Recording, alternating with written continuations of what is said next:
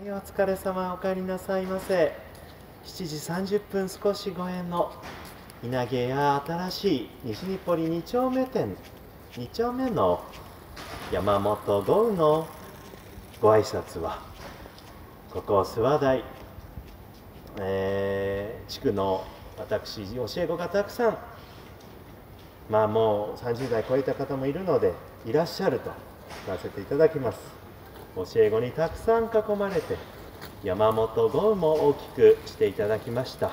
西日暮里の恩返し西日暮里代表という心をいつもですね持って日暮らしの里を山本がより味わい深いものに皆様が笑顔で歩ける笑顔ですれ違えるそういう街まずゴミが落ちてない。もうあの何もする前から少ないのが強みなんですけれどもレベルが高いんですね。レベルが高いから地価が上がり地価が上がるからレベルが高くなる。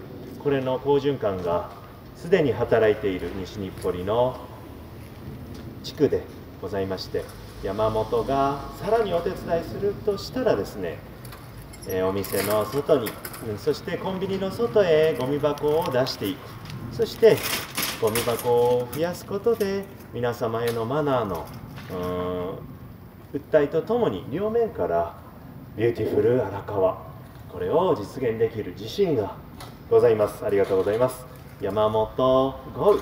防犯カメラの配置とともに明るい街を作る。これも両面から。暗くても防犯カメラがあればいいといういうのではなくて明るくすることで予防的に悪いことをさせないようにしていく。これです。山本豪雨は両面からやります。すぐできることとなかなかできないができたら劇的に変わること。これかっこ意識の部分。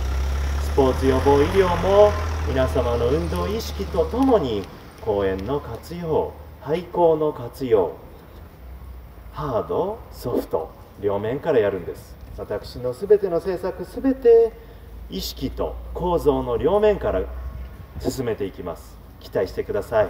山本豪雨のご挨拶でございました。それでは皆様新年度駆け足でいきましょう。ちょっと最初にねえ新年度最初にイベント控えてますので荒川とあの全国へ示していきましょう。投票率を持ってね示していければいいんでないかと。5割超えです。頑張っていきましょう。